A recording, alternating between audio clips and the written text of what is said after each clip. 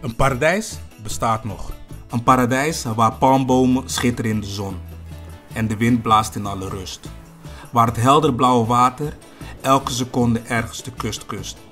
Vissen zwemmen hier sierlijk rond. Eenmaal rondkijken en je weet hoe die vis aan zijn schoonheid komt. De geelblauwe vlag hangt hier hoog uit. Hier draait het niet om met de wind meewapperen, maar om ergens voor staan. Het maakt niet uit wie je bent of wat je draagt. Het draait om hoe je ermee omgaat. We leven in harmonie met de natuur. Ja, dat is de leidraad. Onze passie is van hoog karaat. Van de voetbalvelden naar de slagman die een homerun slaat. Douche Bonaire wordt er gepraat. Kunst en muziek vloeit door iedere hartvaart. Zelfs de straat lijkt op een mooie kleurplaat.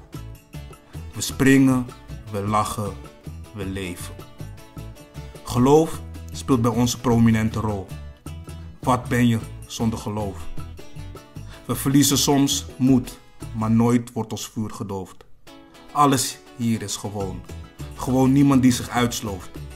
Eén ding is zeker: schouders eronder, dat is beloofd. Als ik je had gezegd dat er een paradijs bestond, had je me dan geloofd? Kom werken bij het Openbaar Lichaam Bonaire.